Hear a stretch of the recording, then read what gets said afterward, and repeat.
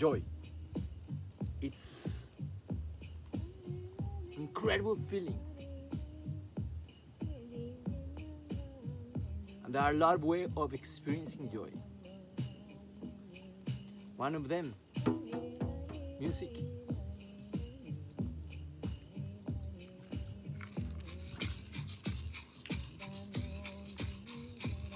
Flow.